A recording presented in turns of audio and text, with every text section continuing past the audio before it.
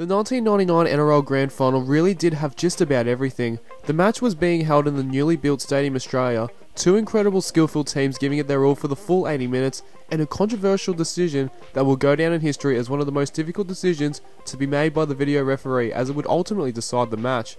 The Storm defeated the Dragons 20 to 18 thanks to a game-winning penalty try from Craig Smith and a Matt Geyer conversion to win the game. So, this is greatest game of all, and these are five interesting facts about the 1999 Grand Final. Number five, Craig Smith versus Craig Smith. For the first time in NRL Grand Final history, two players with the exact same first and last name played against each other.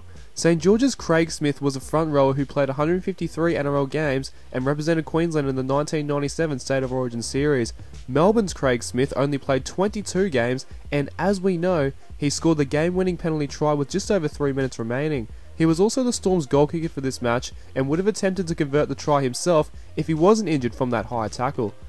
Number 4, Craig Fitzgibbon scored the first try coming off the bench. Bench forward Craig Fitzgibbon wore the jersey number 14 for the Dragons and came on in the 11th minute. Only two minutes later, he scored the opening try of the match thanks to an Anthony Mundine kick. He is still the only person to score the first try in an NRL Grand Final, starting from the bench.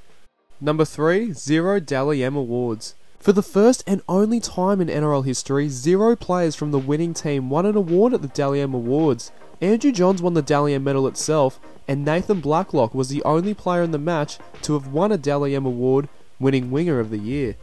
Number 2, it was the biggest crowd in NRL Grand Final history.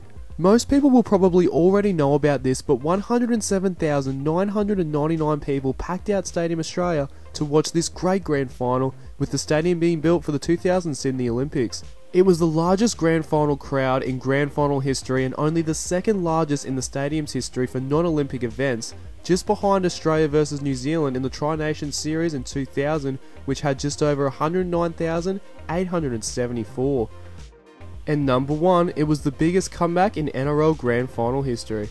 The Dragons took a 14 0 lead in the 30th minute thanks to an incredible Nathan Blacklock try. 14 points was the difference, and the Storm were able to come back to win the game 20 18. The Dragons also had a 12 point lead with 22 minutes remaining, with the Storm scoring 14 unanswered points to win the game. Whichever way you want to look at it, it was the biggest comeback in NRL Grand Final history. So, what did you think of our list? Let us know your thoughts in the comments below, chuck us a like on Facebook and this video, follow us on Instagram, and subscribe to our channel for more Rugby League Countdowns.